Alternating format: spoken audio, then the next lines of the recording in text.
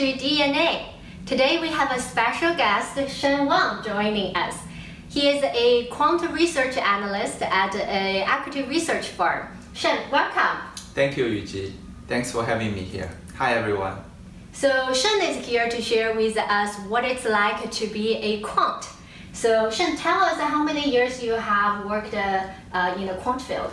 Um, I've been working almost six years, so oh, since wow. I graduated. That's a long time. Have you switched the company? Uh, yes, I recently moved to a boutique research firm, and before I was working in a bank for exactly five years. Why did you decide to become a quant? Um, there are a few things that interest me a lot, um, being a quant, especially being a quant researcher, mm -hmm. because uh, I can explore a lot of new things, and uh, it's kind of challenging and also a lot of problem solving. What we do is uh, very uh, uh, similar as academic research. Mm. So we explore new methodologies, explore um, new uh, strategies, and uh, we do backtesting and we find out what uh, strategies works well, and we publish research. Mm. And it's not doing the same job over and over again. It's basically um, doing different things every day. Gotcha. It's like working in the academic field, but you earn more money probably. Uh, not really, but uh, it feels good that uh, I can find my uh, research that's being useful for, uh, for, for investment. What are your day to day is like, even if it changes like by week, by mm -hmm quarter, but give us a sense uh, what you do every day. Yeah, sure, definitely. So uh, basically, uh, we have a couple of uh, long-term research projects. Those probably will be a few months where we publish the research as a final product. Mm -hmm. At the meantime, we also do a lot of uh, client request, client consulting kind of work. Mm -hmm. So um, every day when I go to the office, I check my email. Sometimes a lot of clients will ask us questions in terms of uh, either our past research or some idea client thought of and they don't have the data or the capability of testing it. Mm -hmm. So they would ask us to help them to test certain hypotheses, certain strategies. So we do the backtesting and tell them if that works or what our suggestions are. Uh, uh, some of them are more time sensitive, so we will prioritize these 1st mm -hmm. But while we are done with the most of the um, time sensitive uh, projects, mm -hmm. then we will focus on our long-term things. So these are um, a couple weeks or months that we uh, plan it out and then we do the research and uh, finish it with a research report. Gotcha. Is it fair to say there is a client-facing or even sales component in yeah, your job? Yes. So basically, uh, my boss were um, marketing almost half of the time, seeing clients. Even for me, I've been to uh, Asia, uh, go to uh, Chicago and some other cities to do marketing. That's so, interesting. Who are usually your clients? Um, so they're mostly uh, hedge fund, mutual fund, uh, pension fund, basically all the buy-side quant firms, they are mm. our, um, our client. And now we are even targeting more of uh, um, fundamental guys. Are those who also read your published articles? Mm, yeah, some of them actually. One of my friends just sent me, um, she, she was working in a uh, uh, hedge fund and she said she was reading my research. Oh, that's right. Oh, everybody, I forgot to tell you how awesome Sheng is. He was actually awarded the, is it called a Rising Star? Uh, yeah, that was last year. So it was a Rising Star from Institutional Investor. It's a magazine where they uh, um, the buy side voted the sell side analyst. That's so fantastic. Congratulations. Thank you. Let's dial back into your day to day. If you have to divide your day into hours, how much percent of your time is invested in client relationships and how much time is invested in doing the actual research? I think uh, maybe 30% of my time are um, client facing directly, mm -hmm. and then uh, maybe 50% of my time I'm doing research, mm -hmm. and then 20% of, time, of my time I'm doing some other works which like helping others. So you mentioned that you've worked at a bank and now you're at a research firm. And I also understand that there are quant analysts in like a hedge fund or um, other type of companies. Can you tell us what's the difference among those? Mm, yeah, sure, definitely. So uh, um, in terms of the work um, I, I do right now versus the things I do at, at a bank, they're kind of similar because uh, we are all sell-side research. We publish research and serve the uh, buy-side clients.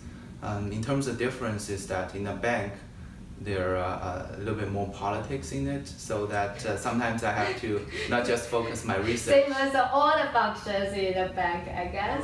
Yeah, I guess so. But uh, in a boutique, we get a lot more flexibility. So, for example, uh, like our infrastructure, we can uh, use uh, Amazon Cloud mm -hmm. as to build our infrastructure. While at a bank, it's very difficult when when we want to increase our, let's say, the computing power, the storage we had so it takes typically like a six month or one year mm. for the mm. bank to approve certain kind of expansion. And I think in terms of the buy side places, some of them they also do research trying to find new signals, but I guess they um, they are more specific in certain areas. Where for us, because our clients are interested in all kinds of different areas, so our research will will cover in many different topics, and we got more flexibility as a sell side research. You've touched on the goods and the bads working for different companies as a quant analyst. Are there particular good things or bad things about being a quant analyst overall? I think the uh, good things is that uh, we are not that uh, sensitive to the to, to, the market to some extent because uh, we are like uh, long short market neutral most of our strategies and uh, it's completely data driven rather mm-hmm. than uh, um, fundamental research where they have a lot of uh, human view and uh, discretionary things in it. I see. And what are the bad things about being a quant analyst? For example, some of the um, your your methodology you think it should work, but it's not always uh, working. So if it's not working, then maybe a couple of weeks of time may not be spent worthwhile. What is the long-term career path like for a quant analyst? Mm-hmm. Um, well, for for us in the sell side, it's mm -hmm. uh, we can continue to be a sell side research analyst, be like uh, the lead analyst of the team, and uh, or we could do a buy side. So basically, uh, in the buy side, uh, usually portfolio uh, managers they are coming from the research analyst because the things they do are almost exactly the same. You've been working in this field for six years. I'm guessing you have gone through tons of interviews or even interviewed candidates for yourself. On the resumes, what kind of skill sets that's key to mention? Um, I think in terms of skill set, I think uh, analytic, analytic skill is definitely very important, like programming, statistics, and uh, also communication skills because we have to talk to clients. Mm-hmm. and uh, some of some writing skills as well because we wrote research. So our product is uh, research papers. So, so uh, um, other than that um, there are some uh, soft skills where you have to be uh, very organized because in our business you need to plan things out for example I, I plan to publish a research in two months so usually I have to plan things out so I don't need to stay overnight and I can uh, do things at a time and finish the final thing at my deadline. So being organized is also very important. Gotcha.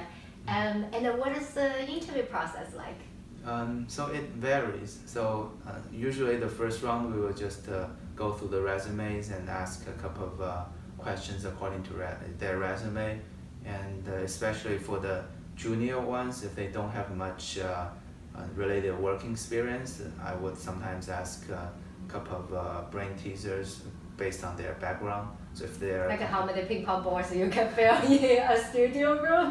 uh, it, it, varies. Like for computer science students, I will ask more like uh, algorithm type of questions, gotcha. whereas for like math or finance, I'll ask uh, uh, less related to algorithm, but more about statistics and other problems.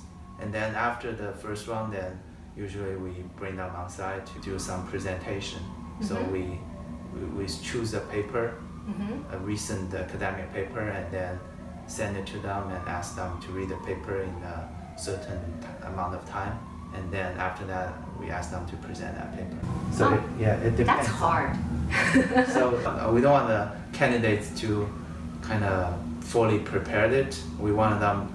We want to show their, uh, see their true uh, ability of their skill set. Yeah, and I think that's a good test because you mentioned when they actually get the job, that's what they're gonna do in their day to day. Little fun game. Let's do a rapid fire of the memes around us about quant, and you tell me if it's true or not. Okay. Yeah. So quant usually gets paid very well. Um, not necessarily. It depends. I think those uh, buy side places, if some hedge fund, if they are doing very well, they could have uh, a much bigger portion of bonus compared with their base. Depends on their year. So if they are they are losing money, they could have zero bonus. If they are doing well, they could have multiple times of the base. High risk, high return. Yeah, exactly. Cool. But what about the sell side? Sell side, it depends on the um, seniority. I think uh, think junior person will have a less of a percentage of their base, and uh, as they get senior, it'll get higher. And uh, I think for in terms of base, I think sell side might have slightly higher than the buy side. Quant and the programmer jobs are interchangeable. Um, yeah, to some extent, because of for, for us, what, what we think is that uh, it's easier to learn finance, but it's more difficult to learn programming and other analytic skills. So for a programmer, if they want to become a quant, probably just need a, a, a year or two to get used to the kind of. Uh, Do they need the to work. study CFA and get certificates? Not necessarily. For some some um, some quant firm, they don't even need any finance background. For example, Oh, like high frequency trading, all they need to do is uh, programming. Quant are usually genius. I know you're so smart. Well, there are some genius uh, doing quant, but I don't, I don't think most of them are genius.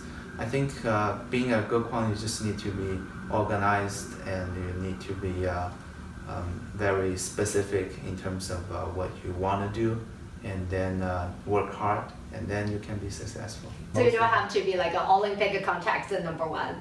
Mm, no, not necessarily. Although there are a lot of uh, Olympic gold medalists in quant area. I see. Yeah. Oh, this one's fun. Um, quant are usually very geeky. They love watching Big Bang Theory and play robots. Um, generally speaking, quants are geeky. So our clients, uh, we have the similar topics with our clients. What are the topics? Is it all about the robots and the Big Bang Theory? Uh, not not necessarily, but at least we don't go out drink that much. We don't watch baseball that much. So much. so what do you guys do together? Um, I think we just uh, Program? meetings. we, we just, we just uh, meetings talk about our research and uh, chat about regular stuff. I, I mean it's.